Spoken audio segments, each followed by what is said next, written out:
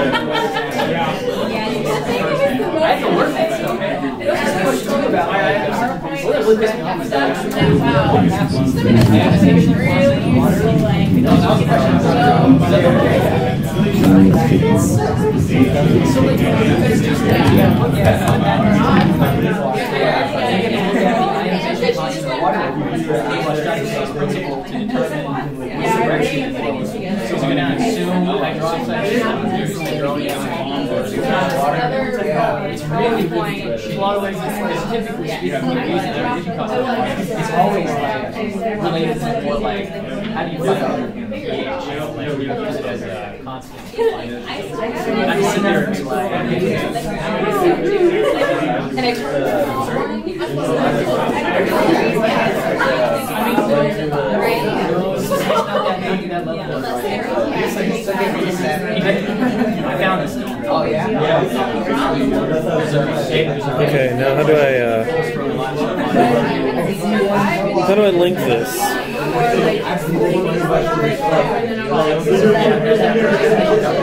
Oh, oh yeah, yeah, you're in my stream now. It's a little delayed. No, you're fine, man. I'm, it's actually a little delayed. yeah, I should move out of the way. I'll be the, the star of your stream. So I, That's funny. I'm assuming it's picking up audio. I was gonna check to see. It should be. There's no reason it shouldn't be picking up audio. It's gonna be obnoxious, I think, to hear me type throughout lecture, but that's how we how we do. Hey guys, how are you? Hello. Howdy. Happy Monday. Isn't it beautiful today? Walking up here. Yeah, the sun was out. Did you get your coffee? I got my coffee. The weather was great in the library. Weather was great in the library. Weather's always great in the library. So, you know, you see a stack of papers. These aren't your exams. These are my molecular exams. But you guys would probably do just as well. Um, so I, I was just chatting with Gabby, and we were looking over this. I wanted to remind you that I've changed the schedule. Um, and I think this works well. I bless you. Thank you. We have a lot of people who are sick this week, and my throat's a little scratchy, so we'll go slow today. Um, so I decided we really should have more exams tucked in there, and not so much emphasis on, you know, big final, big chunk of information. So we have another exam coming up after spring break, so we have one more lecture after today. So I suspect that, yeah, we will get through, um, we will get through, yeah, these two last prokaryotes today for sure. We have a case study that I want you to go through. That adds a chunk of points and it's interesting. Then animal diversity and vertebrates we'll get through in the next, um, either next week or, but the test will only cover what I cover. So fear not. Then you'll have all of spring break to kind of relax and enjoy. And then um, we'll keep going. Okay? Any questions on schedules? Remember the, the low score of your exam, I will drop that, but I curved it. It uh, looks pretty good. You guys did, did pretty well, so don't worry about it too much. Um, and I will, uh, hello. I will drop the low score. So anything else we need to chat about before we get started? Yeah. Yes. Um, I was hoping we could get some more details on the project. Oh, the wiki Cleaning the end project. of the semester, yeah. I know, well, we know like generally what we're supposed to do, but I was wondering. Okay, I will open it up. I will open up the.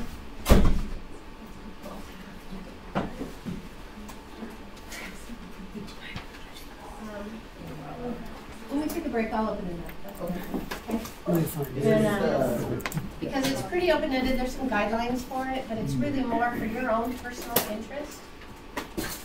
And a chance for you guys to get into a little bit more in depth on one topic that has grabbed your interest. And I know you all, uh, the hardest part is probably gonna be deciding which thing that is, rather than, so you'll do it in a group form. You can communicate all via Google Docs. We'll have a chance to present that at the end of the semester, I hope.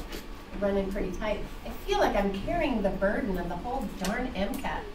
Um, because of the, the way, um, the program is set up for you guys. You know, you don't have genetics. You just have that MCAT prep, but the MCAT prep is not gonna, uh, this is not bad news. The MCAT prep, is not gonna do anything than go over the information that you should have already had.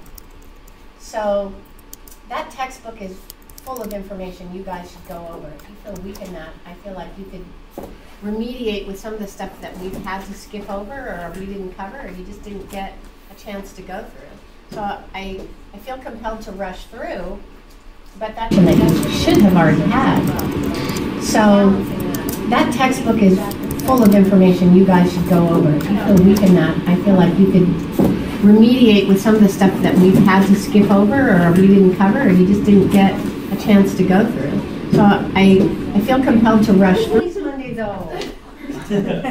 Somebody's got a case of the Mondays. Every Monday it's Monday. How are you doing? Are you feeling okay? Fall down and And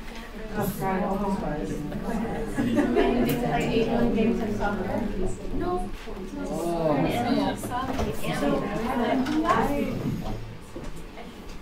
Hey, how's it going, man? All right. So tonight's plan of attack. You know? Yeah. What? We have three hours. Um, we'll go over this PowerPoint first. Um, the chapter in your text is pretty short. Make sure that's some drinks out.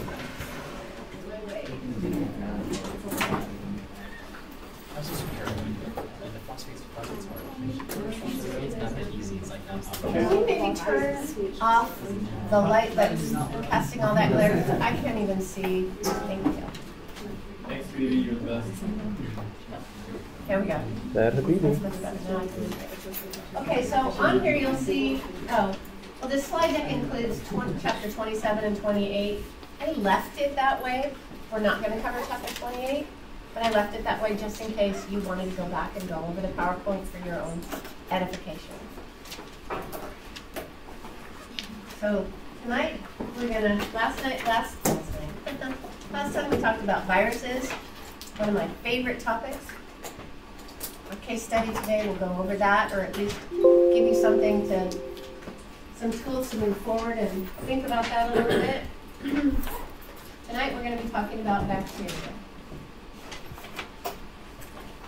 So, in the evolutionary scheme of things, prokaryotes, which are one of the main features we're going to talk about tonight, were likely the first organisms on Earth. So they're probably really good at what they do. Um, just in terms of characterization, and we're getting into the, the realm in the next couple lectures. Um, actually, in the last three lectures, between viruses, this lecture, and the next lecture, certainly, it's replete with a lot of jargon. So it might be a good idea. In fact, uh, maybe for next week, what I'll do is put up a glossary assignment, and we'll just have definitions that just cycle on the website. Because those definitions get to be a little, they get, they tend to bog you down. And um, so it's a good idea to just keep that in mind. That humans have this innate need to make order out of chaos. So that's why all of these definitions exist. So we classify these things, and there's a ton of gray areas about them, which you'll see. But by and large, this is human human scientists attempt to put things, put chaos in some sort of order. So, here we go. These prokaryotes are divided into two primary domains, archaea and bacteria. We'll talk about a little bit of both, largely on bacteria, a little bit on archaea. So, if you want to talk about how all these things are organized, the domain archaea are kingdom archaebacteria, and they're found in the harshest environments. So we're talking about extremophiles. And we'll talk about those at the end of the lecture. The members of the domain bacteria are composed of our friend, the kingdom eubacteria, and they're found everywhere, not in thermophilic vents. They're found everywhere. So, adaptations of prokaryotes, like I said, they must be pretty good at what they do. They wouldn't have lasted this long. Most prokaryotes are unicellular. So this is going to match a little bit more. Have you guys covered this sort of thing in, in lab? Oh, right on. So we can go pretty quickly, and um, it may be a bit of a review then. So some species form colonies. Most prokaryotic cells are tiny, from half to five microns, much smaller than the normal 10 micron eukaryotic cells, just the single cell. Prokaryotic cells have a variety of shapes, which I'm sure you've gone over in the lab. Three main shapes are spheres, rods, and spirals, cocci, bacilli, and spirilla. You got over all that? Did you guys do gram staining in the lab? No. No? Not yet, or you will? Or, I mean, not yet? Mm-hmm. Not I've yet. heard of it and done it before. Okay, but in lab, that's not something you guys go over? We're busy dissecting sharks. Oh, you're dissecting sharks. Squids. Squid. Oh, squid this week, yeah. Spoken like a true medical doctor. Some fish. Something. I I have a friend who is a world-renowned molecular biologist, speaks at all, all types of seminars internationally, and she said to me, which one are the fish that migrate, you know, south? And I said, you mean the whales? No, they're not the fish. So, yeah, you can't know it all, can you? All right, so, again, classifying prokaryotes. So they're classified, and I asked about gram staining, hint, hint, that's going to come up. But um, there's certain characteristics about prokaryotes and bacteria in, in particular that um, allow it to be further characterized. And you'll see what I mean in a second. So, smallest and most abundant microorganisms on Earth are prokaryotes, unicellular organisms. They lack a nucleus.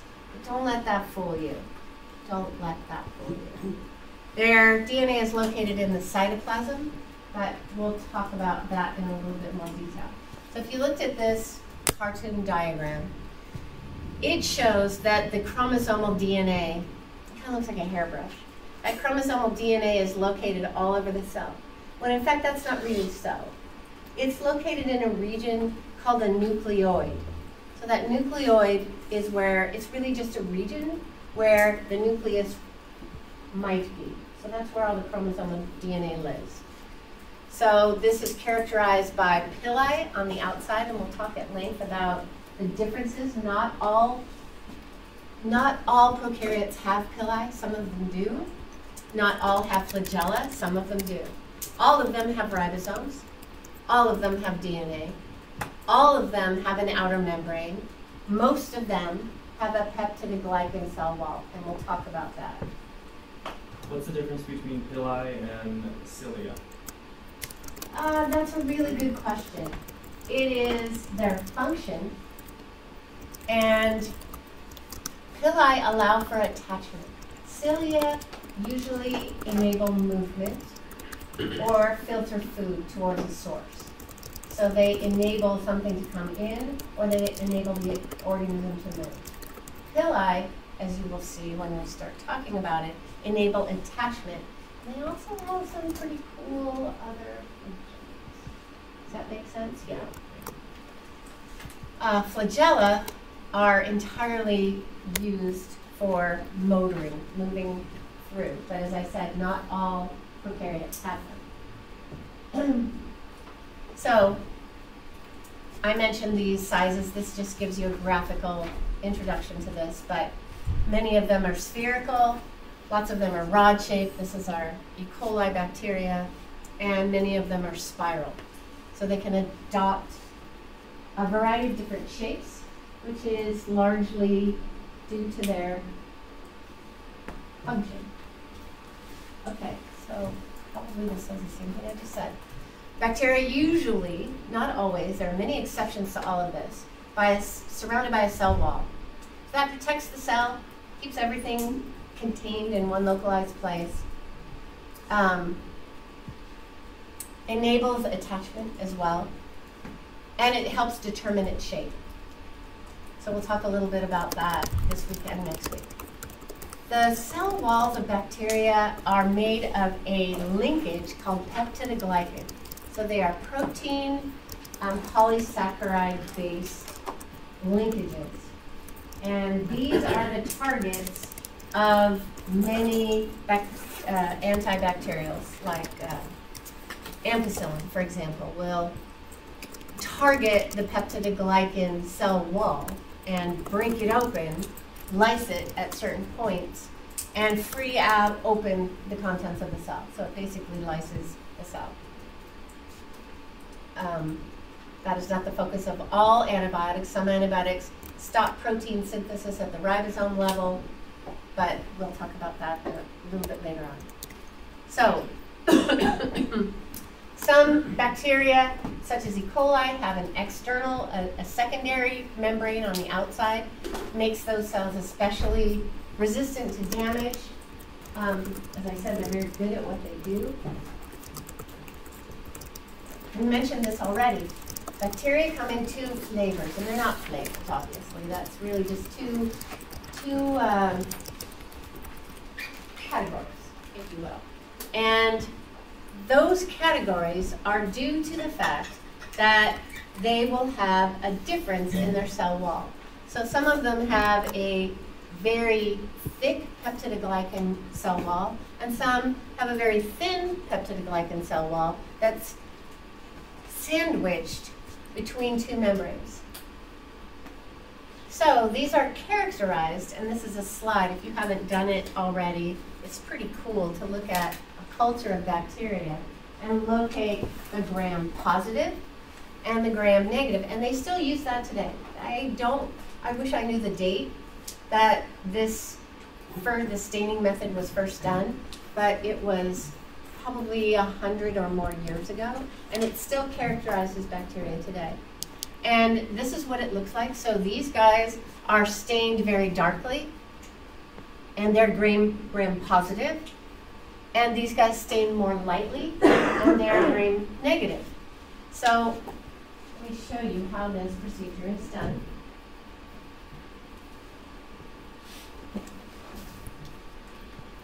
So when you stain these, you take the bacteria, so you have a culture that's probably a mixture of both, and you do this same procedure. So you fix the cells,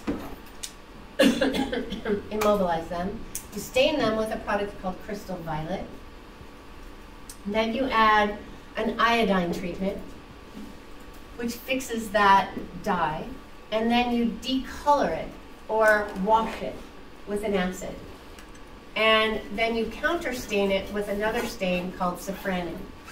So the difference in these two, the appearance of these two bacteria, these two types of bacteria, is due exclusively to the thickness of the peptidoglycan wall. So the thicker peptidoglycan wall does not allow the destaining process to work very effectively. It's as simple as that whereas the thinner peptidoglycan layer allows that destain to penetrate until the dye leaks out. So it just allows you to characterize the composition of the cell wall. That's it. But bacteria come in those two major categories.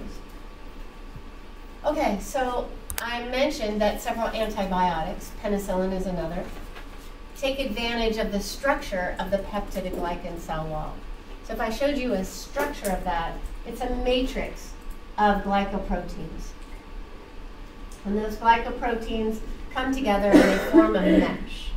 And so there are a variety of antibiotics that target that mesh at a certain linkage. And they break that bond and thus open up the cell and inactivate the bacteria. As I said, that's not the only well, way, sorry, that's not the only way antibiotics work. Penicillin, ampicillin, all those cillins mostly target the bacterial cell wall and that peptidoglycan linkage. Um, penicillin inhibits at another um, at another uh, part on the cascade. It inhibits the enzyme DD transpeptidase, which builds that wall and rearranges it, and it actually causes that wall to break down, lets the inside of the bacteria on the outside, and kills them. so many, many of these um, cells also contain on the outside of them an additional structure. It's not really a structure, it's sort of amorphous. Um, something called a capsule. And that capsule can be, um, that shows up some different on that screen. So that capsule is compro comprised ordinarily polysaccharides or proteins. It allows, again, it functions to allow the bacteria to um, bind to, to a substrate, a target cell if needed, or to one another. So we'll talk a little bit about um, biofilms and um, what causes that. Um, so they also confer some protection from the immune system. Macrophages don't come in and get through, penetrate that capsule as easy. So you can see that they're quite, they've spent a lot of energy throughout evolution to protect themselves.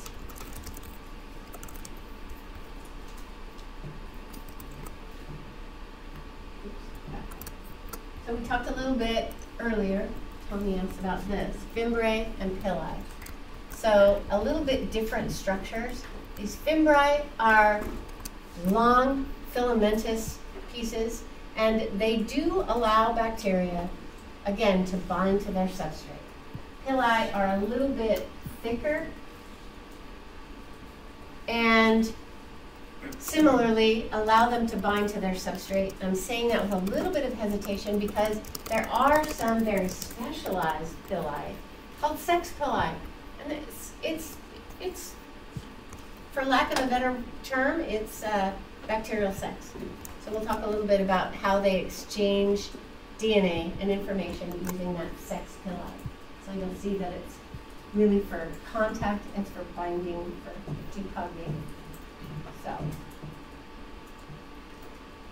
flagella, really, I mean, you have to have respect for this organ in a prokaryote. It's pretty magnificent apparatus when you look at it. So the basal portion of the apparatus is embedded in the cell wall. And then there's a hook-like structure and a filament that binds there. So in this cartoon, it looks very um, industrial. And is rather industrial. In fact, this is a TEM of that flagella. But it's a series of proteins that come together. It's constructed of a variety of different proteins that bind. These are very hydrophobic proteins that make up this portion of the basal apparatus that are embedded in the cell wall. And this is a very filamentous protein. So these are long beta sheets. And they confer mobility by using ATP hydrolysis, which allows them to move through there. Um, half of the prokaryotes are capable of movement. As I said, not all prokaryotes have flagella. Um, they're the most common, but not the only means of motility. They are not covered in a plasma membrane like eukaryotes, so that differentiates these prokaryotes from eukaryotes. And these guys rotate. It's pretty spectacular um, how they move. They rotate in a circular fashion and give it like a Propeller, exactly. That's exactly the word I was looking at. As opposed to a whip-like structure in eukaryotes. So really, it's just based upon the different proteins that comprise that filamentous region of that. So a couple of, couple of terms. Now we've talked about the ability of these prokaryotes to move. And so you need to think about, or we need to think about together, why they move and what they're moving to or away from. So we give it a special name, taxis. Taxis is to move away from a stimulus. Chemotaxis, well, oh, I've already got it up there. That would be a great question. But the name implies exactly what it is. So you're moving towards or away a chemical compound. Some molecule, some food item, something is in that environment that they're moving towards. Phototaxis, moving towards or away from light. So just as the name implies. Algae, moving towards light. Photosynthesis. So did you guys cover this in, No. Some, no? Okay, sorry, I'll quit asking. All right. Okay, as you would expect, the prokaryotic genome has less DNA than eukaryotic genome. But don't let that fool you. Don't let that fool you. There's still a lot of good genes in there to do a lot of good stuff, as we'll see. So another characteristic, so it has smaller regions. Um, the genome is circular. So if we were talking about DNA replication in these guys, it's pretty easy. One origin of replication, DNA gets replicated in one continuous circle. Um, chromosome is circular, not surrounded by membrane. It's not encapsulated in a nucleus per se, but it is in a region inside the cell called the nucleus. So I don't want to yeah, there we go. It is located in the nucleoid region, so it's a region of the cell. And I don't remember if we talked about this or not in 210 um, in lab, or whether Mike Berg talked about it with you in class. But one of the coolest things about bacteria is not only do they have, I, I've forgotten if I've got a slide on here, this or, or not, but not only, so here's my, wow you with my artwork. So in that nucleoid region, they have chromosomal DNA. And it is circular, but it's rather disorganized. But in the remaining parts of the cell, there, there also exist small pieces of extra chromosomal DNA called plasmids. So we'll learn about the utility of these plasmids. They contain genes that the cell needs. There are multiple copies, anywhere from 10 to a 1,000 of these plasmids in a cell.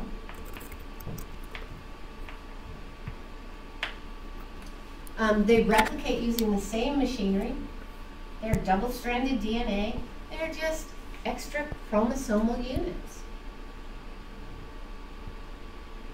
So just to give you a clue why this is so cool, well, it's cool for the bacteria, but it's super cool when you're using DNA recombinant technology. Because what we've done, the minute molecular biologists have figured something like this out, they're like, wait a second. DNA in a circle, easy to replicate, easy to move around. I'm going to exploit the hell out of that. So that's exactly what they did. So now you can manufacture these plasmid DNA molecules. And this is how cloning exists. So you can actually go to a catalog and purchase plasmid DNA that you can, and we'll talk about this term, transform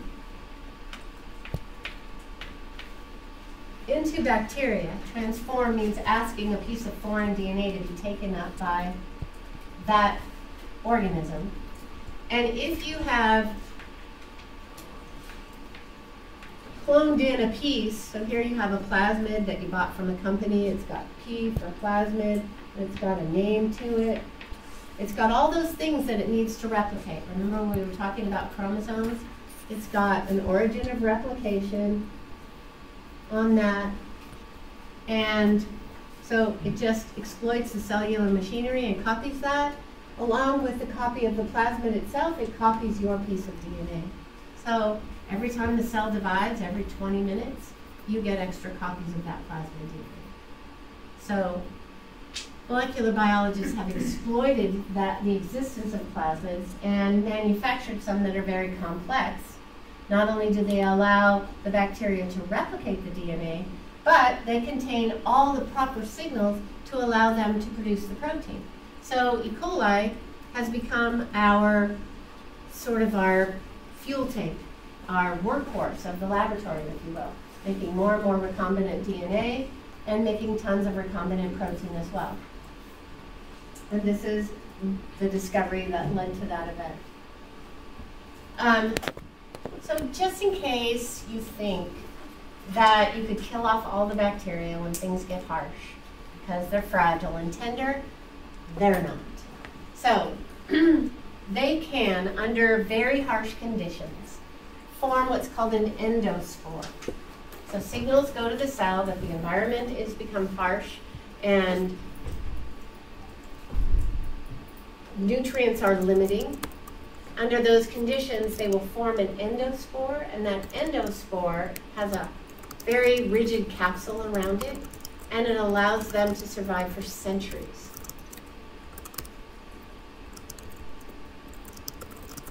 That's amazing, too. Okay, so we could say that they're primitive. They're not really primitive. They're very, they're very complex, but they're highly, they're not highly evolved. Also, they have a very short generation time. We looked at that. You guys calculated their generation time in the lab. Under perfect conditions, it's roughly about 20 minutes in the laboratory. Having knowledge of that, if you could replicate every 20 minutes, it would be very easy for you to model evolutionary changes, i.e., adaptation over time, i.e., um, resistance to antibiotics. So those studies have been done um, in time. For example, adaptive evolution in a colony was documented in a lab, and it only took eight years, rather than looking at millennia for some other organism. So there are prokaryotes that are capable of photosynthesis. There are prokaryotes that are aerobic.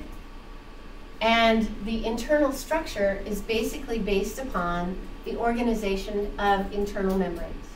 So there are respiratory membranes within aerobic prokaryotes and thylakoid membranes that allow for the electron transport chain and photosynthesis in photosynthetic bacteria.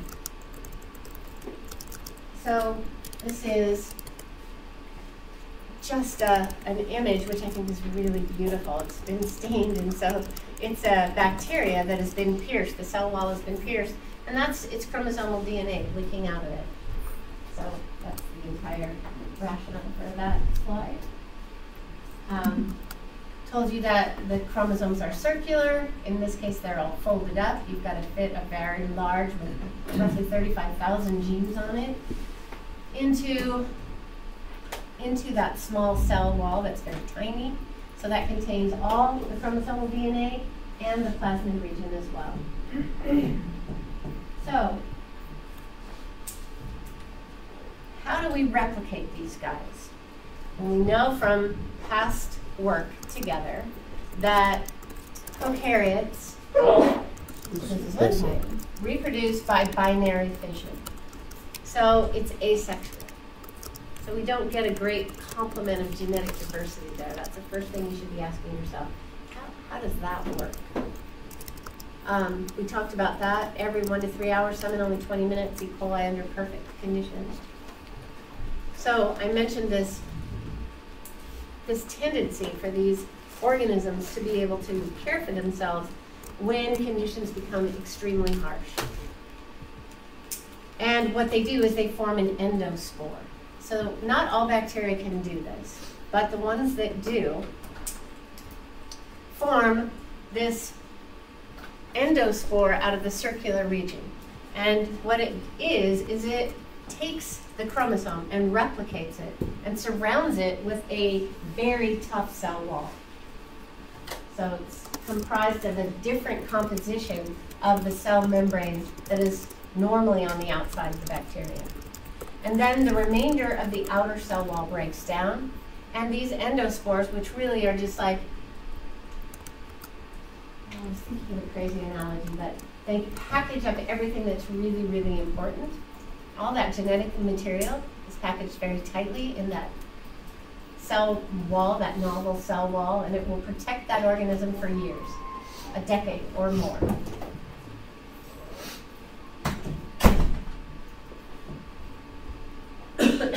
We know, even though, I mean, imagine something, and you, like I said, you're going to ask yourself, so if these guys reproduce by binary fission, what that means to me is the first prokaryote that was there duplicated, and then those duplicated. So what we should have is no genetic diversity, right? We should have the same genome today for the that we did in the original cell, and all bacteria should have the same genetic information.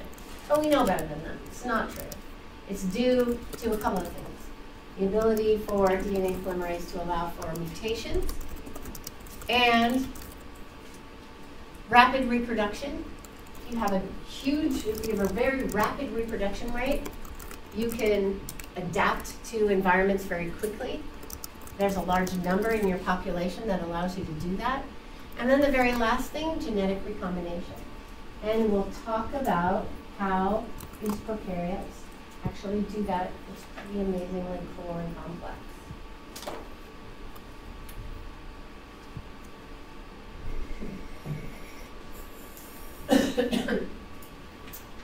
uh, let's see. Genetic recombination, combining of DNA. So you guys know about this. We know of this. Genetic recombination, the combining of DNA from two sources, which allows for the contribution of diversity. And again, we're talking about an asexual organism. So they don't mate. So we're going to talk about how this happens. So I mentioned one way um, transformation, or at least I introduced that term to you. But there are actually three ways that you can genetically recombine as a prokaryote. And the first one is called transformation. We'll talk about that. The second is called transduction, and they're different. And the last one is called conjugation, and that's bacterial sex. You can't get around it. That's what it is. It's pretty cool. So, if we were to talk about, um, if we were, and we're not, and this is sort of a holdover to the evolutionary section, but you don't need to memorize this, it's just on the slide for nomenclature clarification. But if we were talking about movement of genes from two different species, that would be termed by evolutionists horizontal gene transfer. That can be done um, and, and it is in a fashion in transduction. If you could call the assistance in that transduction another species. That, that happens in nature by itself? Yes, it does. So we'll talk about it. Hmm. We'll talk about how that works.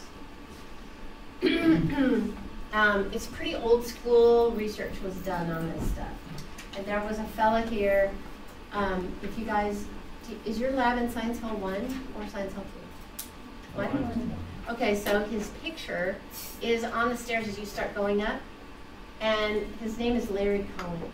And Larry, Dr. Larry Cohen was probably close to 70 when I started here, and that was a long time ago.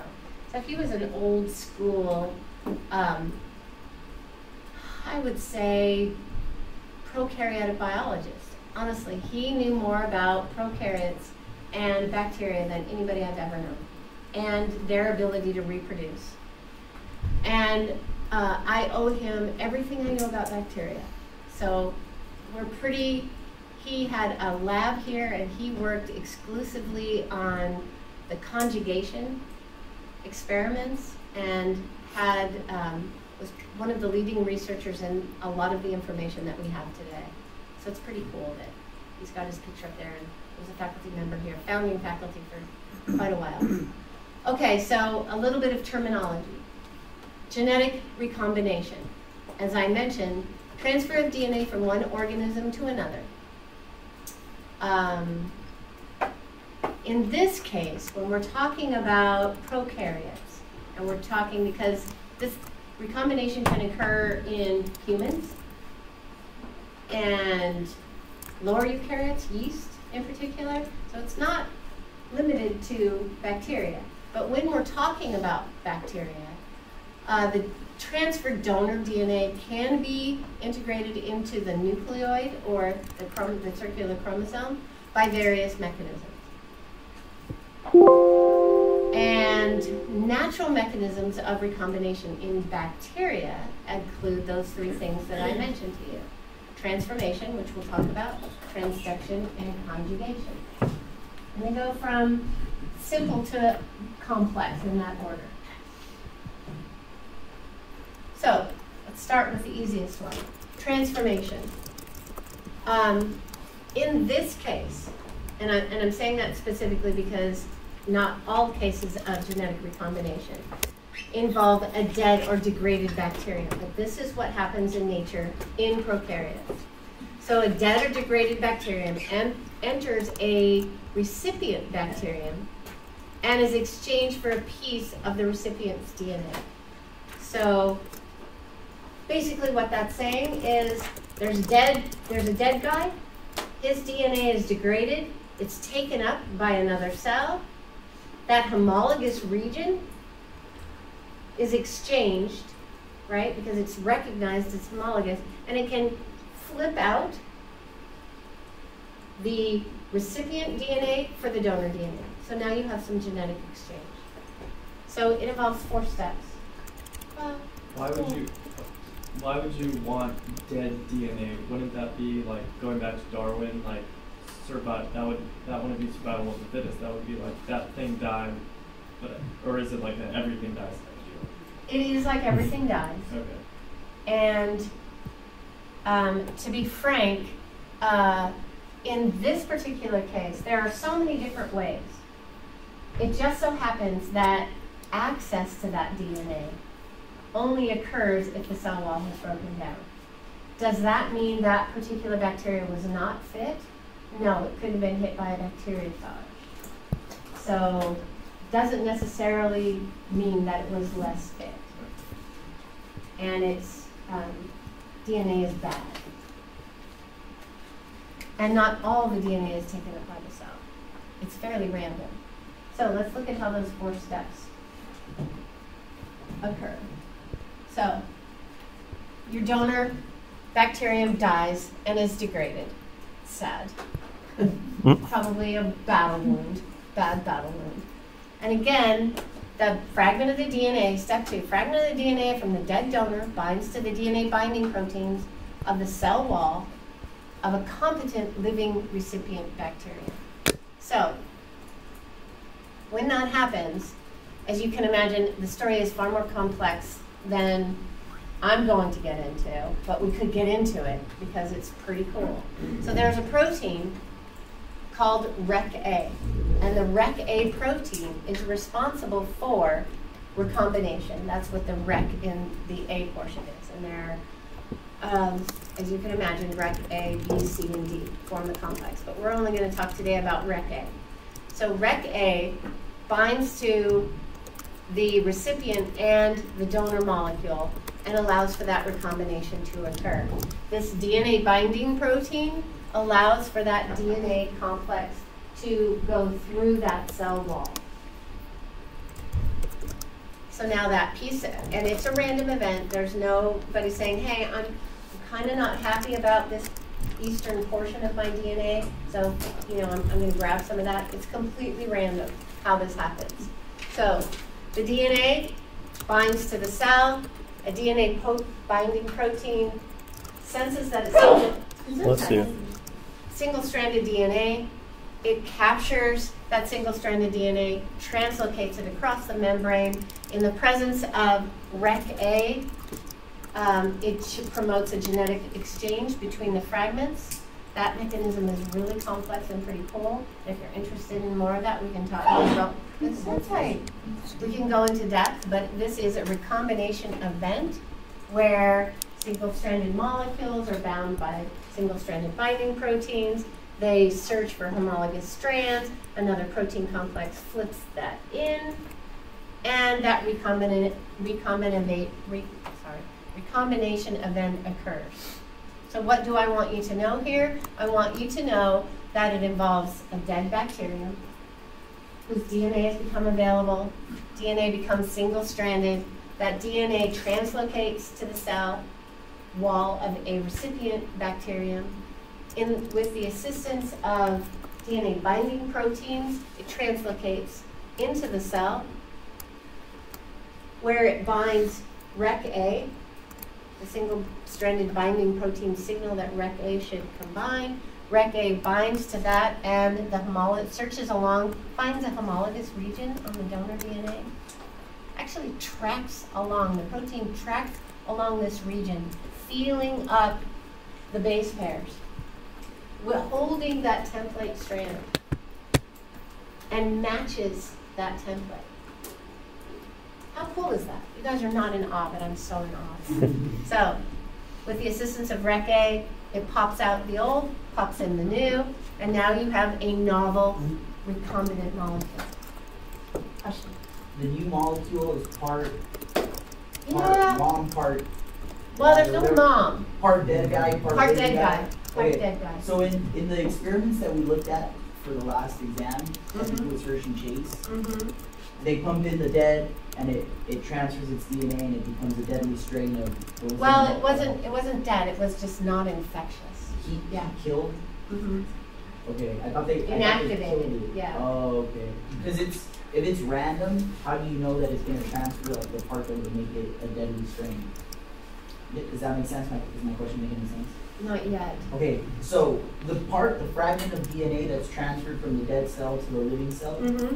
if it's if it's randomly decided what what that fragment is, how do you know? Like, how did you? Well, it didn't happen with all. So here we're talking about a large population. That's Hershey Chase experiment. It was a large population. So Mhm. only some of that you had to incubate it, and it was a completely stochastic event, right? Because that virulence factor was randomly transferred. Mhm. And we're just simply talking about numbers. So given enough time, given enough of those infectious particles, some of that virulence factor will be transferred. I got you. You can't, uh, Because if I that say that to like you, that random fragment, yeah, you can't say that that hundred percent of those living no, cells in absolutely not. culture will, will turn dead. Absolutely not, Okay, no. that was more so than my. Yeah. Um, In fact, every single day, people are taking advantage of this transformation event. This is part of a cloning strategy. We take DNA that we want, that we've manufactured here, and we push it into the, the bacteria. We do certain things to increase its competence, to allow it to take up that foreign DNA. But even then. it's But only even then, it's only taken, well, it'll take up all that plasmid DNA, but not all the bacteria take it up. Random mm-hmm. events happen, so it's not one hundred percent. Okay, so four steps. Dies and degraded, fragment of that dead piece, and it's completely stochastic. The gene that comes in, but by virtue of the scanning process of the REC-A protein, scans along the DNA, finds a homologous what? What does stochastic mean? Oh, random. Random, yeah. Sorry, random. Completely by chance. Sorry. That's a 50 center today. Okay, so that's fairly simple, right? That's transformation. Any questions on that other than Michael and the randomness of that? And can we, can we? No, it's good. No, no, no, it's good. Bring it. Any questions on that? No. Yeah. Is this what they're uh, using for CRISPR? Like, is that- Um, there's a portion of it. There's a portion for CRISPR, but that CRISPR-Cas, and uh, hopefully when we start ta- talking about immunology, we'll talk about that um, process because that does not involve this transformation procedure per se. Question? And Did those DNA binding proteins on the coat, did those evolve specifically for that, or is there additional uses of that? Do you know? Um, That just seems like a crazy thing to evolve uh, a DNA capturing protein to bring into the cell. Well, so if you think about it, so when we talked about this earlier, right? If this system didn't exist that allowed for diversity, because now we have this new, despite the fact that it re- reproduces asexually, we now have genetic capability for genetic diversity. So I think your basic premise, I, I question that because this is a big, this is a hmm. big opener, right? This is a big deal. It's a on Broadway play event to be able to get genetic diversity in asexual organisms. So the fact that those DNA binding proteins have that, they bind single-stranded DNA, and that is, to my knowledge, REC-A, the REC-A protein is involved in several other processes. Um, and it, we will revisit that, or you will revisit that in your lifetime.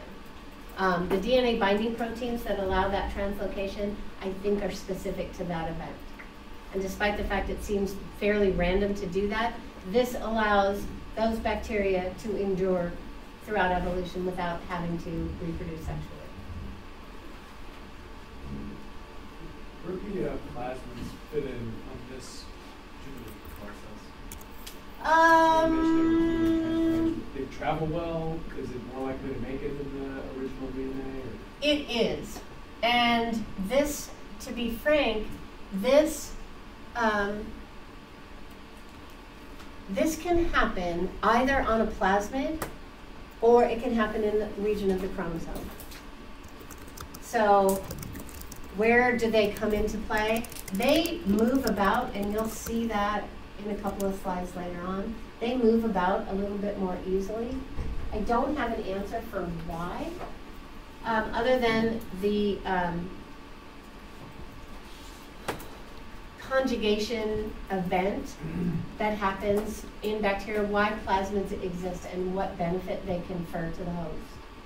They're small regions of extra chromosomal DNA. Why would you compartmentalize that in a different location in a smaller region? Why would you do that as a cell? Yeah, I don't know the answer to that myself. So other than that one um, process conjugation, I'm not sure. It's just more for Yeah. So, question? Just thinking? I, it- something just occurred to me about the, I remember a million years ago, something about, A million years ago? yeah, it seemed like it, so really, cycloconjugation, something with plasmid had to do with being able to confirm the ability to conjugate. Yeah, So there's some you'll see that again.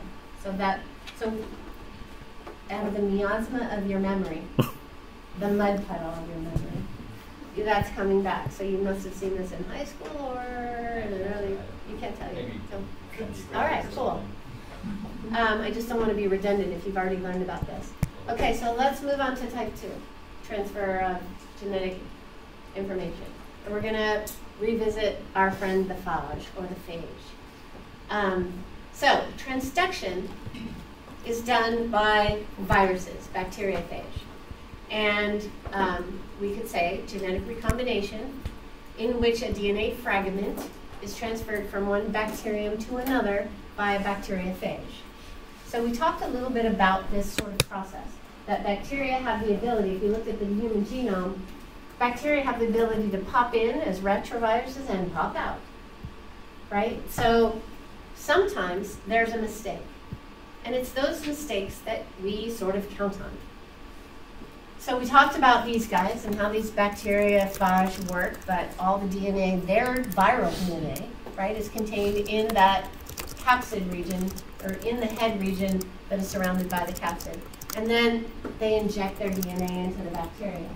So the whole goal for the phage is to make more phage. The goal is not to make the world a better place and allow these prokaryotes to gain genetic diversity. So, we talked a little bit about this, and I, that's why I think these two lectures go well hand in hand. Two types of transduction. So we're talking about a process by which viral, the virus is sort of a vector, if you will, for transferring DNA between two bacteria. So there are two types, generalized and specialized. So in specialized transduction, and again, you just get bogged down in the nomenclature, but the slide deck is up there. The DNA fragment transferred from one bacterium to another by a lytic bacteriophage is now carrying donor bacterial DNA. So it's a, it's a mistake. So remember, it incorporates as a prophage into the chromosome of the bacteria.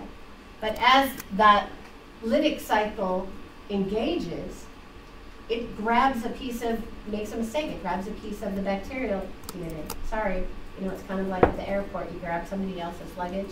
Has that ever happened to you? You always hope it's better than yours, but not. All right, alternatively, specialized transduction.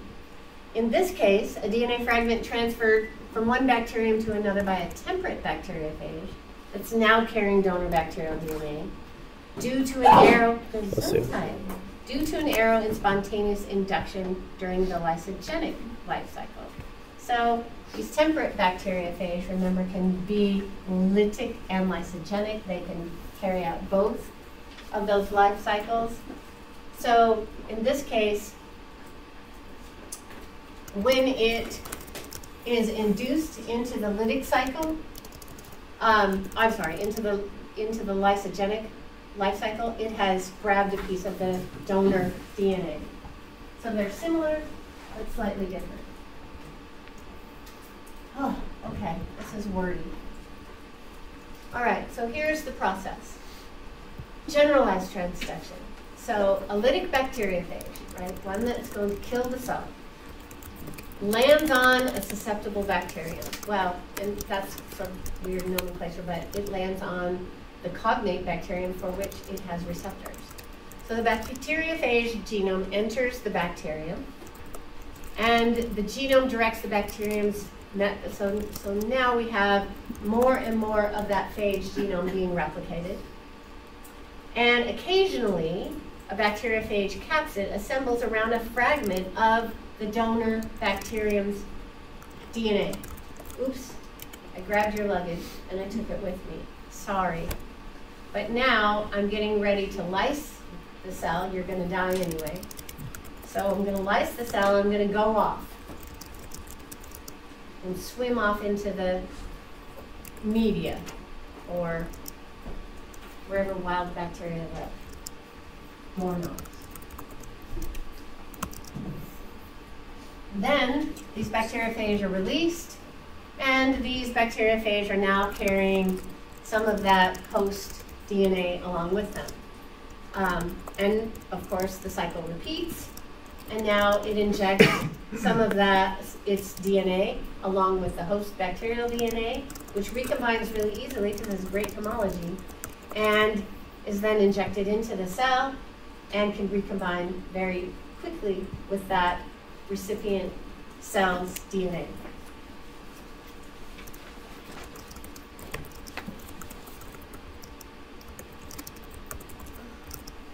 Sometimes I get a little crazy with adding these slides. So Bacteriophage inserts the donor DNA. No, ah, I said that. Exchange. Okay. So there can be an exchange of additional DNA. It can the cycle can repeat itself, or it can stop right there. So this process goes on and on and on. It's quite frankly, it's far more common than it isn't common. So let's look at the comparison then to specialized transduction. So that was a lytic phage coming in and basically just grabbing up by mistake some of the donor bacterium's DNA. So it killed the first cell. Yeah. And then well, it, it didn't good didn't, DNA. It, well, you're getting caught up in good and bad because there's nothing bad about a cell that got killed. It was a brave warrior. Right? It's not a mutant or a disease carrying Okay. one. There's nothing wrong with it. Just fallen warrior. Okay? So the new viruses that, the new bacteriophages that were made in this this host cell Right. now have this host DNA in it. Some, some of it, not all of it, right? They've only taken a portion of it by mistake. So they're Okay. still viruses. They still have their DNA. stuff. Yes. Then they, yeah, okay. Okay? Yeah. Good. All right. So let's look at the next step. Specialized transduction. So in this case, we have a temperate phage, right? Capable of both types of replication. Temperate bacteriophage absorbs to a bacterium and injects its genome. The bacteriophage inserts its genome, into the bacterium's nucleus, and now it's become a prophage, right? It's integrated as a prophage. I saw that last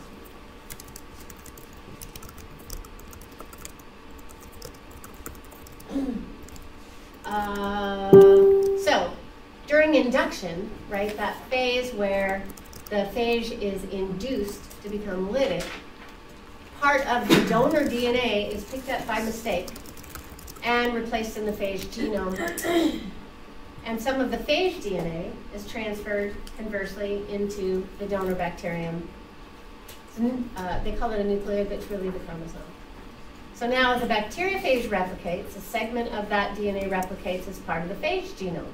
And now every phage carries a segment of that bacterial DNA. Similar? So the key difference between this and the, uh, generalized is a probable accident Yes. where during the spontaneous formation of the capsid, it captures a random, uh, Right. bacterial string. So the Yeah. one, so that functions normally, but it, when it injects the, the DNA, Mhm. it, it it's just a way of moving it around. Correct. Um, and then in specialized, it actually has to go through a prophase and it pops out with the piece. Piece, And yeah. then it gets replicated, Correct. so everything in the, uh, Right. so is this more common or less common? Um, it's as common as the amount of lysogenic te- and temperate versus temperate phages. so it's a pretty likely event. And it is not selected against. Questions? So, um, specialized transduction, we said it happens during the lysogenic life cycle, but right as it's going to. right? Yes, exactly. It's, yes, it, it, ca- it can't happen unless it becomes lytic, right? Because that's the event where the incorrect piece, yes, comes, pops back out. Sorry, I take all of me and some of you. Right. So the ones that, uh, the viruses that conduct uh, generalized transduction, they're gonna be the virulent, i.e. they Only lytic. only ever do lytic. Correct. Yeah.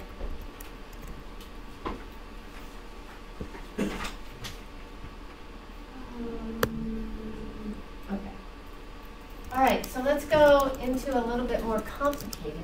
So we've gone through transformation, we've gone through transduction. Now we're gonna go through conjugation, right? And all three of these methods are simply mechanisms by which asexually reproducing bacteria can have genetic diversity. We have help. And these are the three mechanisms. Okay, so this is what Dean remembers from back in the day somewhere. Um, okay, conjugation, genetic recombination, in which there's a transfer of DNA from a donor bacterium to a recipient bacterium. And it involves a sex pilus. I'm sorry, but you cannot lie. That's what it looks like. We don't have males and females, we don't have gender here, but there are three processes. There are F plus conjugation, HFR for high frequency of recombination conjugation, and resistance plasmid conjugation. Kind of talk over all three. Um, oh boy. How do I do this? Um, all right, so an F plus conjugation. You have a specialized plasmid. So the question was, right, where does this plasmid come in? Well, in this case, these uh, plasmids that are considered F plus have a gene on them that codes for the presence of this sex pilus. Um, and the words are used in the text, male donor to a female recipient. But there is no gender, true gender involved. It's simply the presence of that F plus plasmid, or really to be more correct, the F plus gene on a plasmid. And that will be the donor bacterium. The female will be any other. Um, hold on one second. Okay, yes. Um, in lab, we had, uh, we were looking at slides and it was asking about plus and minus delegation. Is that what this is? Minus delegation of Gene gene expression. Yeah, gene expression. or he was saying it's not sex cells, but similar. Is this? I don't know, I'd have to know more about what you were looking at, and when we take a break, maybe you can show me.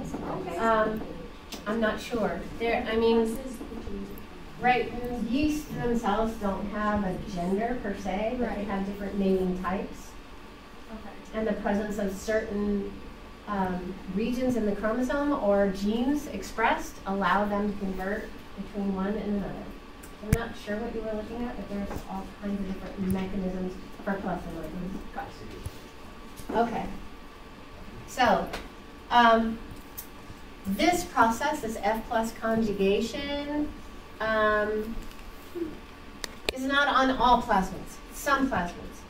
Often plasmids confer antibiotic resistance, and we'll talk about that because, you know, you're well aware of that fact that, that these, and maybe that's, you know, we talked a little bit about that, why, um, why these plasmids exist, but they're able to recombine very quickly, so they probably have more diversity than the chromosome, and allow those bacteria to evolve new genes as needed. One of which, importantly, is antibiotic resistance. Good for the bacteria, bad for the host that it needs. Okay, let's talk a little more about this F plus conjugation. So, here you have a male, and he's considered male, and again, that nomenclature is wrong. Let's, let's call him a donor. And what makes this bacteria a donor is the presence of that F plus gene on a plasmid. So he is F plus. And that gene encodes a protein that will allow expression of this region called the sex pilus. And what that is, I mean, what that is, is exactly what this slide shows down here. This is a region that extrudes from the outside of the membrane. It is hollow, and it allows for the transfer of DNA from one bacterium to the other bacterium. So we have a host, I'm sorry, we have a donor, and we have a recipient. The recipient does not have that F plus. So when that certain signals happen and that pilus, I think in your textbook, I don't think I have it on the slide, but your textbook has a pretty cool slide. What happens is that pilus attaches and adheres to a recipient cell wall, and then it contracts. and once it contracts, they come close together. So, it's not just that they grab on and things have to happen out in space. So this pilus adheres to the recipient, and one strand of the plasmid breaks. so, you can kind of get an idea of what's going to happen. So, that pilus retracts and it creates a bridge, and one strand of that bacteria is transferred from the donor into the recipient. At that point, both of them make a, now we have two single-stranded molecules, both of them make complementary strands from that single strand of that F plus plasmid, and both are now males. or donors capable of producing that F plus pili. Nobody's that stoked about that? I just think that's amazing. All right, no transfer of any chromosomal DNA under this condition, just the plasmid containing the F plus coding region. Uh, I have a question. yeah, Um, so the sex pilus will then form on the next, on the recipient? the recipient is now transformed, or, yeah, that would be the proper term, is now transformed into an F plus bacterium. And the, sex pilus extends when the F plus plasmid breaks, or it it No. extends before? No, it extends before. It is because of expression of the gene. So there's the gene for F plus, the pil- pilus production, on the plasmid. When that gene is expressed, the pilus is formed. When it contacts its cognate recipient, the plasmid becomes single-stranded. There's a protein expressed that cuts that or nicks that plasmid. That DNA is then transferred through the pilus into the other one. Both of them now have a copy. Now you have two donors. And that sex pilus retracts. Question? Question? Go ahead, go ahead. Well, it, it almost kind of seems like um like invasion of the body snatchers. Totally. You know, like so. Zombies. Long term, would they be expecting then that there will only be F plus of these? Because Um, eventually, won't they kind of all become F plus? Given enough time. No. because of the other forms of Right. And this isn't the only mechanism uh, that occurs. And it does happen, not, it's not a conditional mechanism. It does happen all the time. So you cannot be, it is a little bit like a zombie. You can't be a donor unless you're bitten by another donor. right? So. Vampires. So it's, again, it's a stoichiometry, right? There's just more bacteria that are not, and there's a plentiful abundance of recipients. And then if it um can a donor connect with another donor, or did you say it can only connect with a non-donor? It can only connect with a non-donor. Question? Is the only gene that's transferred the one for? No. Okay. Great question. No. Uh, often, in fact, um, this entire plasmid region contains other genes. Um, and that's the mechanism by which this conjugation works in terms of recombination. So, as well, a, number of genes along with that F plus gene on that plasmid.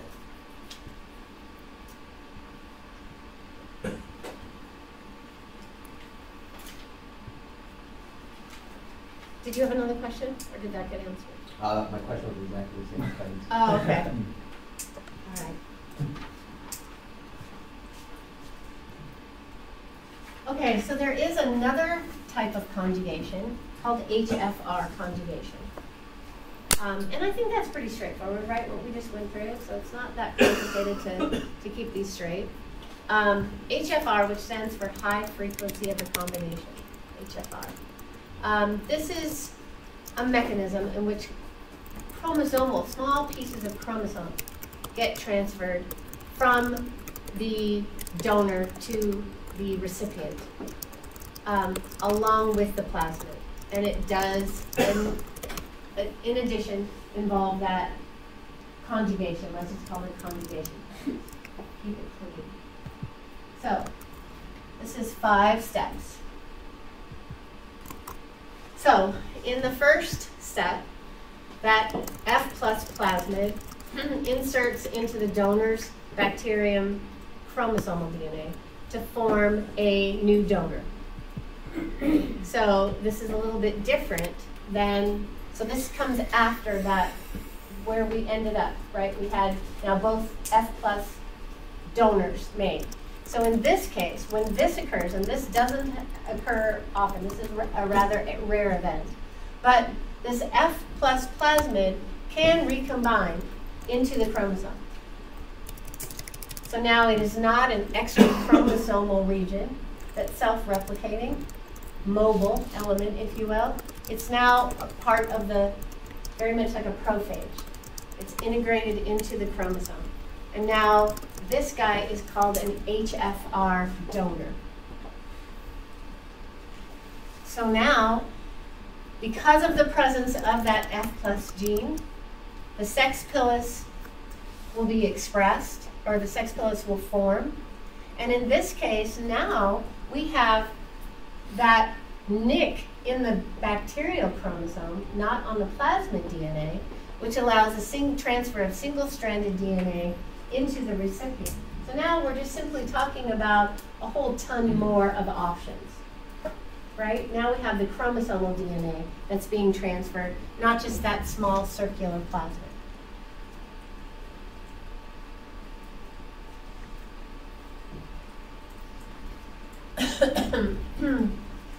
so same scenario, that sex pilus, when it's bound to its cognate recipient, retracts, and those two cells come together. And what ordinarily happens, um, you would think, well, now I've got, you know, a diploid organism. I've got two copies of the genome. But it doesn't happen such that the entire chromosome is transferred, just a portion of it. So this is a very quick event, in and out. so as these two bacteria come together, right, and they contract, a portion of that DNA is being transferred, but then very rapidly, these two bacteria come apart. So it's a very rare event. And how much of that DNA is transferred depends on how long they were, they were in close proximity, right? Um, so now, you have the recipient, which will make a complementary copy of that DNA strand. And if that F plus region is transferred, you now have a new HFR bacterium. Alternatively, you can have just simply transfer of a, in this, in this example, you just have transferred donor DNA. This guy remains a F plus male or donor. Um, the last step, genetic exchange. So you, it will integrate into the donor region because there is homology, right? These are bacteria, so they're similar. Their DNA sequences are similar. So it will exchange DNA, and now you have a recombinant chromosomal region. So the difference between HFR is that it happens in the chromosome by virtue of integration and not simply on the plasmid.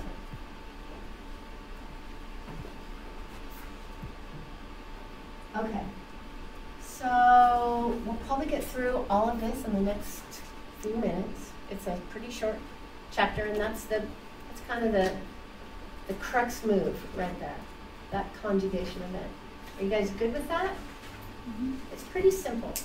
It's just well, actually, if you think about it in terms of bacteria, who would have thought, right? It's pretty complex mechanism for doing that, um, and a couple different options. So now let's go back to how we characterize and classify these organisms. I'm sorry, put your back to you. I don't to do. All right, so basically they're categorized into four categories based on how they get their energy and how they access their carbon. And you guys have done this a lot for certain. Phototrophs. They obtain, right? Go for it. Okay. No, phototrophs. Exactly. They eat light. They eat light. Chemotrophs eat chemicals. Uh, autotrophs require CO2 as a carbon source, and heterotrophs require an organic nutrient to make organic compounds.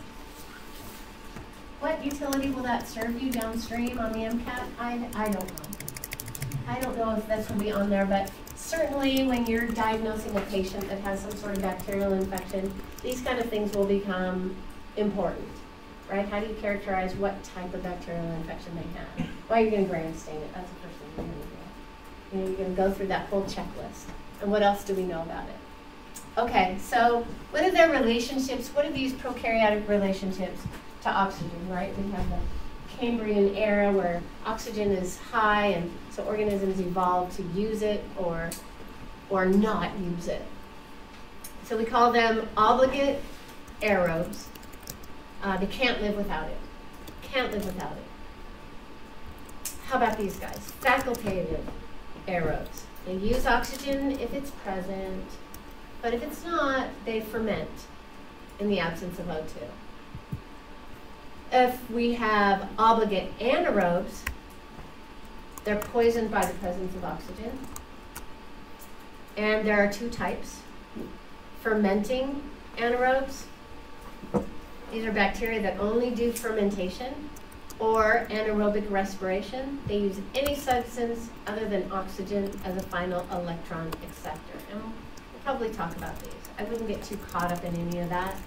Um, do you need to know this? Strictly, probably the word obligate and facultative. Those are probably important to know.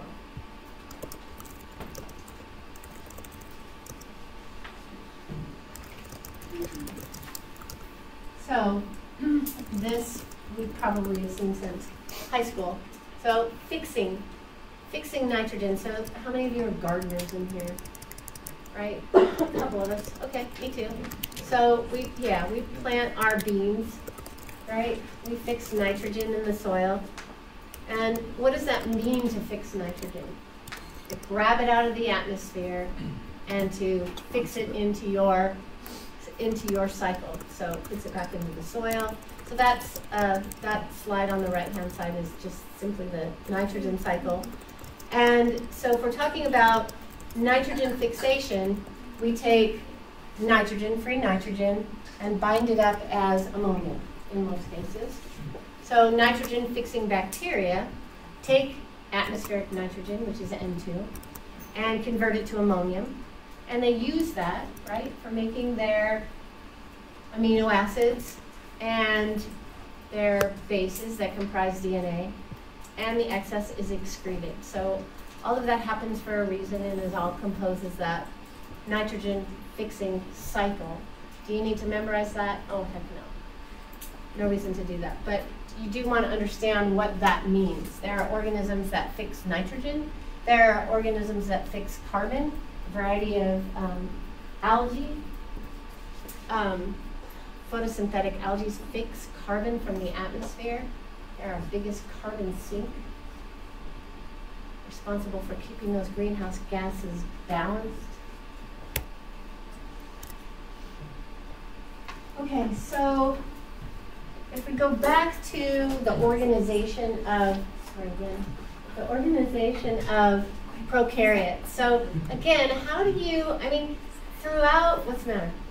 Are you guys tired? Need a break? Yeah, having fun. Yeah. oh no! it's so good. Okay, wait, so tell me what you know about this before I go anywhere. What do you guys know? It's the spaghetti one, right? What? The spaghetti one. Spaghetti one? Right, this is a filamentous, filamentous uh, prokaryotic system, right? So it's, huh? Okay. Oh my God, you guys have to know all that. Yeah. Yeah. That's all the stuff I skipped over. What will over. it turn into? You're right, it Really? Yes, it is what? Very much the stuff is. It is, what did you, well, are you mad about that? Not at you. Not at you. I'd rather learn for the MCAT than Yeah, me too. whatever we're doing. Seems to be priority number one. Learn for life. I mean, the, the produce stuff, like, we do have to know for your cat, it shows up on there, yeah, bacteria stuff. Like so far, nothing that we've learned today would be on the practical. Nothing. So there would be no reason to have Yeah. this earlier. Yes. Yeah. The prokaryote stuff that I just showed you is Yeah. not on the MCAT? I'm not on Not that. our practicum in our lab. Oh, in your lab? Oh, well, good, I don't want to double dip. I mean, heaven forbid. I, I told you guys at the beginning, and if you hate it, you can tell me. I can go back to the original uh, plan for this course, which was um, organis- organismal and population biology. You go through evolution. You look at protists. We totally like what you're doing. Yeah, I don't. So, you're not the to you. problem. Complaints on This your is okay. You guys are the you guys are the customers. It's All the right, it's so, the other so thing that's the important problem. here? Right? These guys work cooperatively. We're not going to expend too much energy if we don't have to, and that's the bottom line. Right? Biology comes down to really just a couple of different concepts. Are you positive or negative? Right? I'm attracted to you. You're made up of four things: A, T, G, and C, and conservation of energy. Right? That's those are the common themes throughout. Got those concepts? You pretty much figure it out. So these organisms often exist in a symbiotic fashion, right? They've come together, so you've got some cells that photosynthesize and some cells that perform additional functions, fixing nitrogen, and they have a name, right? This a colony of cells Anabaena. That's what these guys are. You should have known that, right? Oh, yeah. Right? so the photosynthetic cells are mixed with those heterocyst cells, and those heterocyst cells are the only cells in that colony that fix nitrogen. So they work cooperatively. I think that design is great. Um, so did you guys talk about this in lab, biofilms? Nope. Well, it's all a bee. Where's Okay, this that? is, so this is on the surface of your tube. so cool. It is kind of cool. Wait, who in here wanted to be a dentist? Okay, you want to be a dentist. Yeah. There, This is the there plan. you go. This is the This is the stuff. plan. Outside from you. Okay. Right? This is plaque. Yeah, black. That's plaque forming on your Yeah. teeth. That's Keeps what you they come in and they scrape off. So this is a biofilm, right? So biofilms are actually pretty fascinating. They live in all kinds of different environments. So they, it's a colony of cells that come together and work cooperatively. So nutrients come in, waste goes out. So there's a symbiotic relationship between all the organisms that make up that biofilm. Um, I'm, I'm gonna do this and then we'll take a break. I'm gonna, I'm gonna, fin- finish this up. Okay, so we are not gonna go into, and it's not because I don't love it, I teach it in three fifty-one. Um, it's because when I looked at what was on the two thousand sixteen MCAT, there wasn't a lot of questions about evolution, so it didn't warrant, you know, three hours of your time. So, but we will talk a little bit about molecular systematics and the phylogeny, right? Because back in the day, we would look at the phenotype of an organism. It has four legs, it has antlers, it's bilateral, and we would classify them that way. Things have changed, and now people like me have a job, and you look at the DNA sequences. So we can look at and classify these organisms based on not their phenotype, but by their genotype, right? And what their DNA sequences look like. And the idea is um, those two things should usually match up, and by and large they do, but in some cases we're finding differences. So I can tell you a couple stories, but, but we won't do that tonight. Um, this is what led to the splitting of prokaryotes into those two different domains of bacteria and archaea. Is all of that molecular information. Okay, so we're going to talk about interactions of these prokaryotes and environments. Um, symbiosis, and we know this term. Um, but in terms of ecology, it's a relationship where two species live in close contact. You've got a host and a smaller symbiote. So often prokaryotes form a symbiotic relationship with a larger organism. And quite frankly, um, heck is the name for it now? So there's a whole field of studies talking about the um, intestinal flora and the effect that that has on your nervous, the microbiome. Thank you. That's what I was trying to think of. So there are chemicals and what they found is that there are chemicals secreted by the bacteria that live in your gut. Mhm. And those signals have ramifications for your nervous system, for your immune system. So it is a very complex symbiotic relationship. Um, that's a field of research that is extremely interesting. Okay, so if we were going to go a little bit deeper, um, couple of different terms. One, two, three, four. Mutualism. Both symbiotic organisms benefit. So there's some benefit gained from both parties involved. Commensalism. One organism be- benefits while the other is neither harmed or helped. So I think your textbook gives an example of bacteria that lives on your skin. Doesn't harm your skin, doesn't help your skin, but they live on the salts and are protected by the, the barrier, the fat, the these excretions on your hand, or probably all over your body. So that's an example of that. Parasitism, when an organism is called a parasite and harms but doesn't kill the host. Usually that involves taking nutrients away. Like tapeworm kind of idea? Giardia. Giardia, exactly. Had that. It's horrible. Parasites that cause disease are also called pathogens. Just we have a nomenclature for you. Yeah, I'm not going there. Prokaryotes' roles in the in the biosphere. Important that they, um, if they were to disappear, the prospects of life would be dim. We need them. So thank goodness for all that genetic recombination. Chemo heterotrophic prokaryotes function as decomposers, detritivores, breaking down dead organisms and waste products. Planet works pretty darn efficiently left to its own nature. The ecological communities of hydrothermal vents depend on those chemoautotrophic bacteria. So these are bacteria that live in harsh environments. Um, okay, so I told you that we'd talk about archaea at the end of this. So these guys are called extremophiles. Extreme, um, these are lovers of extreme conditions. So examples of these guys would be um, thermophiles, extreme thermophiles that live in hot vents. Um, these guys live in volcanic springs. So did we do the experiment PCR? Did we run PCR in 210? Mm.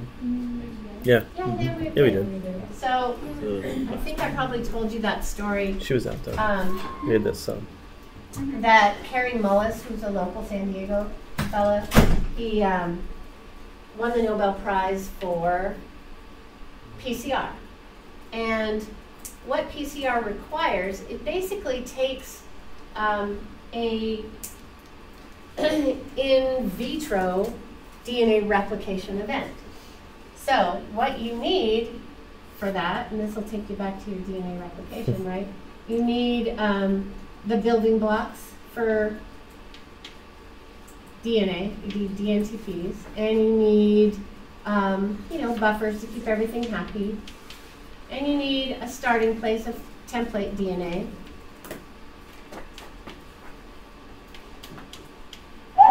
Bless you. Bless you. And you need primers, right? Because DNA polymerase cannot make de novo DNA. It needs a primer region, so you've got primers in there. But the big player, the big player is the business end of this whole reaction is DNA polymerase, right? That's the enzyme that replicates that DNA, starts at the 3' prime end and adds nucleotides in that direction, right?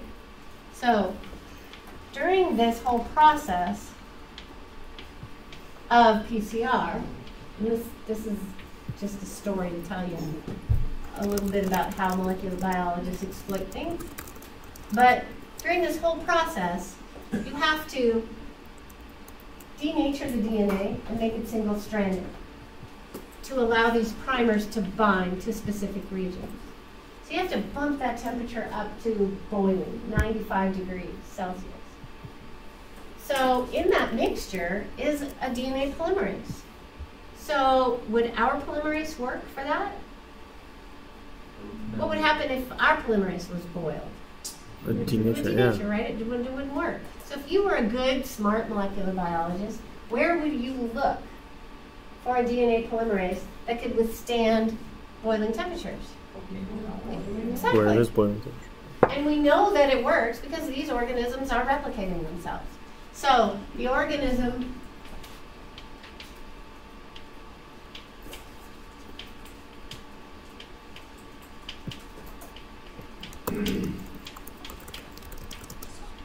so what we add to that reaction is called Taq, which is short for Thermus aquaticus, and that's exactly where it came from. So, extremophiles, very valuable. Not just valuable to the plant, but they're valuable in laboratory environments as well. So, there are thermophiles, there are halophiles, live in high salt environments. Uh, methanogens that are usually strict anaerobes that are poisoned by oxygen. They live in swamps and marches, mar- marches. use carbon dioxide to oxidize hydrogen, releasing methane as waste.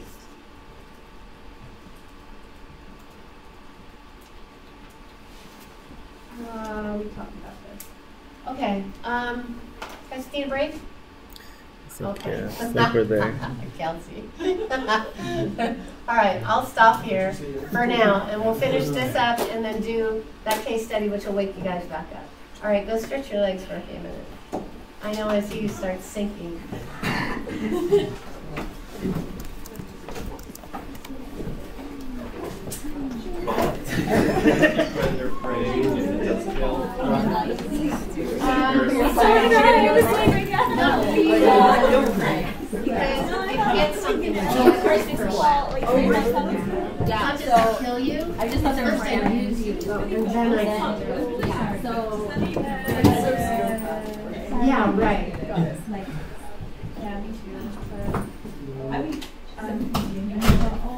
Let me take it. We'll like give us the best five bucks.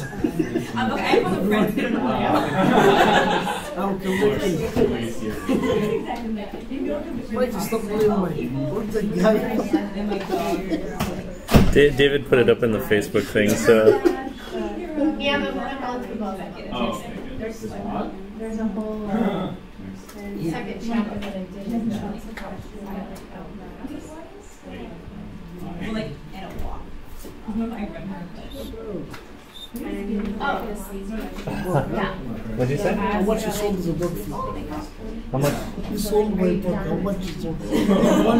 I make money from you? I wish. This is brilliant. We should have sold like for ten bucks each. Be like, hey, we got something for you guys. like ten come, ten bucks each. I put all that in my note cards. All those questions. Do you have it? You don't need the ink. I tried to download it so many times. Yeah, I t- um, yeah, I got I got it on there. So I will cut it down like 72 questions and 60 questions self wait, which one are you looking at? The volume, the eighth edition? Oh, for this chapter? There were only like twenty something for chapter nineteen. It's chapter 27. Oh yeah, yeah, twenty-seven. There's really a lot more. Man, I'm hungry. 72 plus six. Seventy-two plus six. Oh yeah, yeah. yeah. Well, I'll probably start integrating those.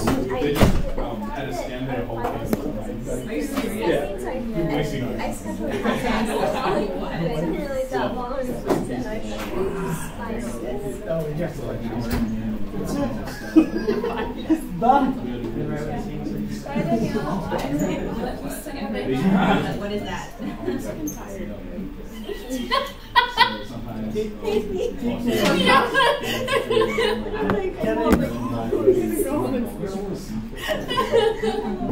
gonna walk, stretch my legs a little bit. I gotta go to A little, a little easier. I got like since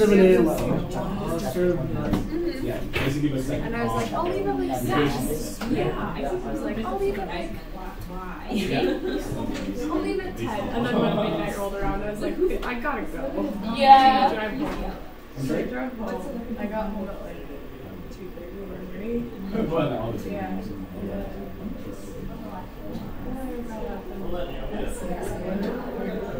I don't know how. Accident.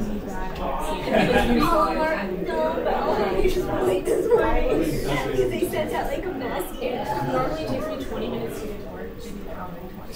Well, my ass was pissed. Yeah, that's insane.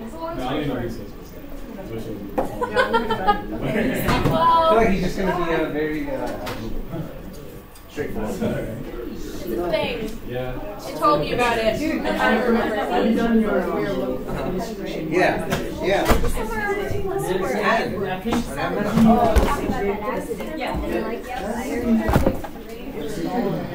I try it?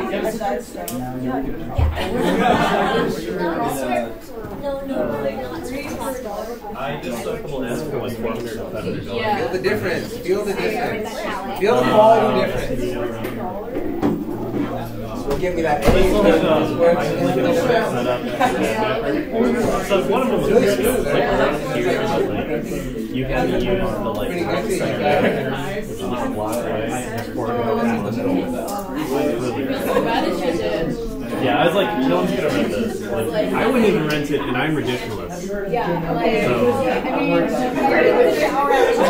Yeah, man. You want to spend some money on it. I used to, to buy cheap at the show, and then I was like, there's no difference. Yeah, then I, then I got pack, and then I was like, I'm gonna spend a hundred dollars on. Like, I could just got a legal pack, like thirty bucks. It took me five hours. There's only, they only people in the They are ridiculous, dude. I don't feel like I eat It's not really. But the ones that really Five like thirty. smelled those juice too. And they last a while, I just like, I get fed up, it's like, you pay a fortune. And I was like, no, And then you kind of get locked into their ecosystem. Yeah. It's kind of okay, but like, I just get pissed. Like, this thing it costs a thousand bucks.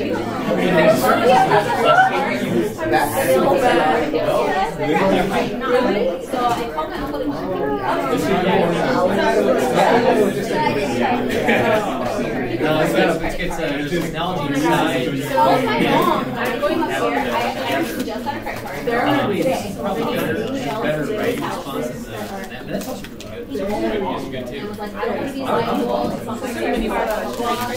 Yeah, they're actually more It's for my chart. Kind of acts like a computer. Yeah, that one, I think he has a. You put them off and it asks you a question about like really That's true. Yeah. two, it's 2017. I just walked in, I walked into the store and bought it. Freaking car. Like they're, That's and like, it was like. Is he gonna pay for the rental? Yeah, well, okay, so is And,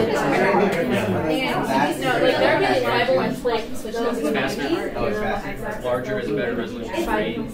You did charge to that. They're charging to I got the iPad Pro. And they say that everyone's like different, but they're charging. It's just that You know, they're- the key, that was the first card. Keyboard's a hundred and seventy dollars. I was just like, uh, It's literally because it's a brand new. There are one off, like, brand. you can get like a Bluetooth one. I mean, there's other options. The reason I got it was so that I can like basically make a mobile office you know, to kind of consolidate everything into like one device. Well, it's so far should be able it's to not like it's definitely luxury. Like I don't Just think I'm plenty of getting stuff like like for work, but it makes my life a little easier. Um, Right. I mean, oh yeah.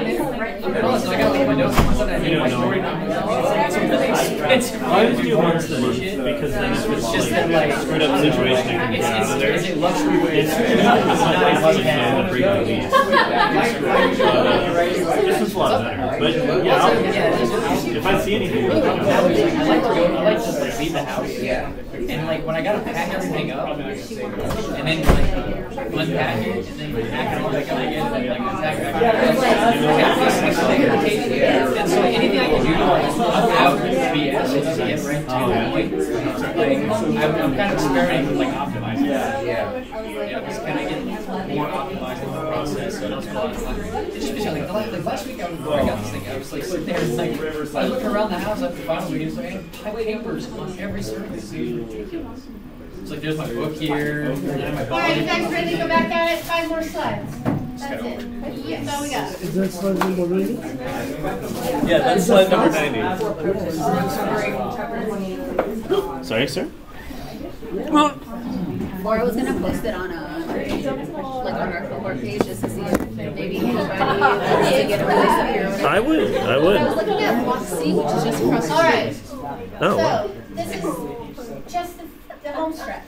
A Couple more slides to go, but these are some, some kind of cool examples of symbiotic relationships. Right, so we define that. Relationship between organisms of different species in direct contact. There's a host, Usually the host is the larger organism. That's not, always the case. Symbiont is the smaller one. Free forms, mutualism. Uh, everybody benefits. For example, human intestinal bacteria. This guy, this picture,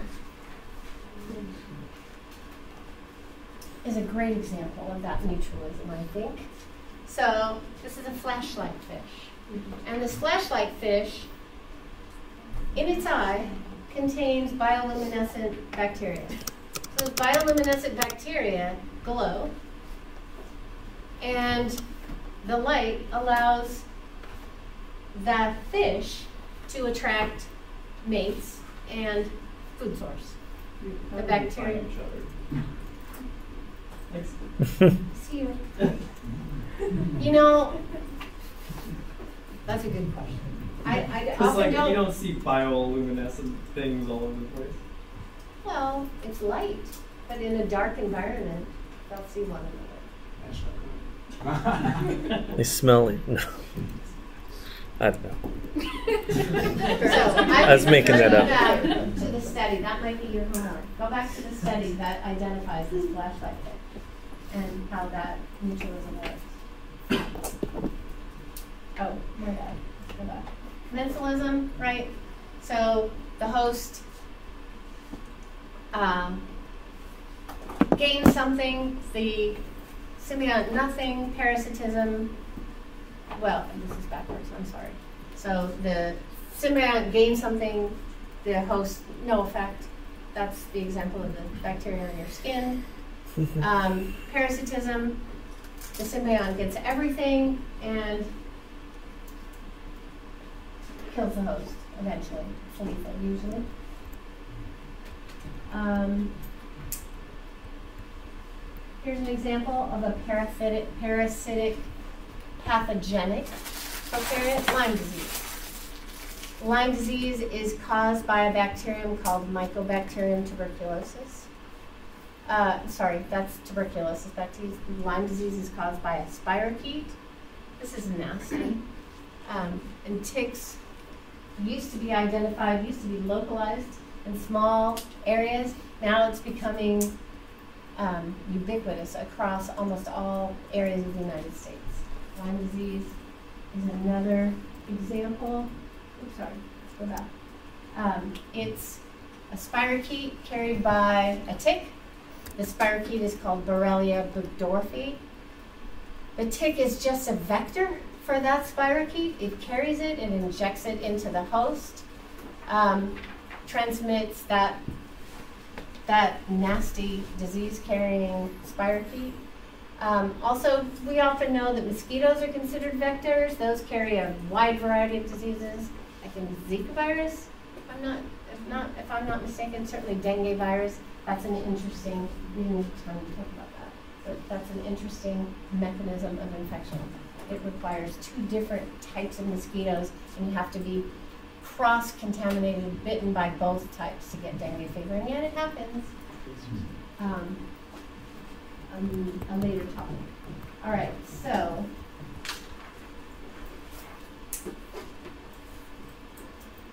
That's just a map. Just a map that talks about Lyme disease and how infectious it is and how nasty it is, and just to remind you to wear long pants when hiking to make sure those. All right, exotoxins. Exotoxins. Um, these are toxic proteins that are secreted by pathogenic bacteria. So one very well characterized exotoxin is the one that causes cholera, the disease cholera, which is caused by the bacteria Vibrio cholera. And it secretes an exotoxin called cholera toxin, easy to remember. And what it does is it just beats up the intestinal cells, causes them to secrete water, um, and it basically just dehydrates the individual who's been affected by that. Um, how much do to know about this? Oh, a couple of your famous endo and interesting endotoxins. So these endotoxins are different from exotoxins in that they are not expressed proteins. These guys are released um, from the outer membrane. These are usually on the outside of the cell.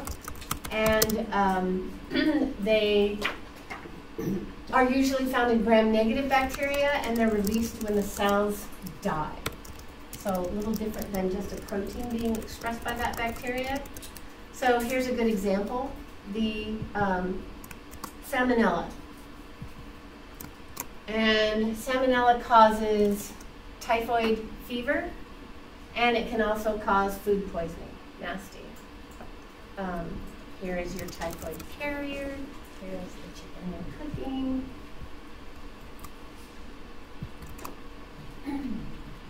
Um, good things about these prokaryotes, and I mentioned a few. This is Thermus aquaticus, helped us out quite a bit. Here they are in cloning. Um, also, just in everyday use, they are used to convert milk into cheese. E. coli we use extensively in the laboratory. It makes proteins for us. It makes our DNA for us. Um, like it or not, you see a lot of this agrobacterium, which infects plants, which was it is a form of transforming plants, bringing recombinant DNA technology into plants. You can take a plant plasmid and use this agrobacterium, which allows the genetic information to be transferred into plants. So you can make transgenic plants pretty easily. Bioremediation, those groups that use bacteria for cleaning up oil spills. Um, other types of soiled areas that are replete with methane. There are other organisms that will clean that up. Oh, that's it. That's all I have. Okay, so we're not. Are you so excited? We're not going there. We're not going. All right. So the last thing that, and I hope it will be fun for you. Group yourself into. Let's see two groups this time. Okay, so split in half. And on the website, Me versus the room. team A and team B. Uh oh. So today's case study, and I alluded to this a little bit. All right, everyone, have a nice day.